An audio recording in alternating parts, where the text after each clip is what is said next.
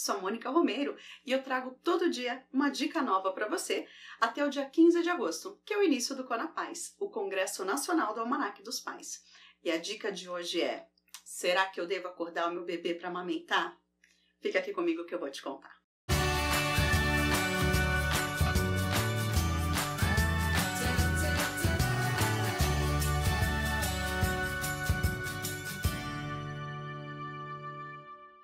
E agora? Devo ou não devo acordar meu filho para mamar?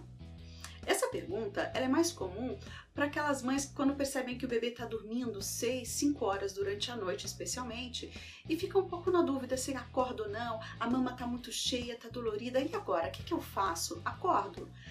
E a dica é a seguinte: se o seu bebê não é aquele bebê que nasceu prematuro, que ficou internado numa UTI ou num atendimento especial, se o seu bebê não tem um problema neuro neurológico que não permita que ele acorde ou manifeste a vontade de mamar, e se o seu bebê está ganhando peso adequadamente, você está acompanhando isso de perto com seu pediatra, na verdade você não precisa interromper o sono dele.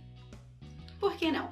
Porque se ele está dormindo, ele está satisfeito, se ele está bem, não tem por que você fazer essa interrupção. Inclusive, isso pode habituá-lo a começar a acordar de madrugada para mamar, que é uma coisa que você não vai gostar que aconteça daqui a um tempo.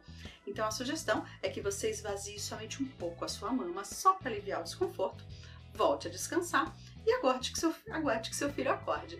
E outra coisa, agradeça. São pouquíssimos bebês que nos primeiros meses de vida já começam a dormir 6, 7 horas durante a noite.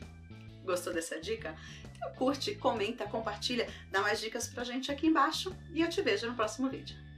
Dia 15 de agosto começa o Conapaz, o primeiro Congresso Nacional do Almanac dos Pais, um evento online com 21 palestras gratuitas preparadas com muito carinho para você que se sente sem tempo para se dedicar aos seus negócios e se preocupa com os cuidados para seu filho crescer saudável e feliz.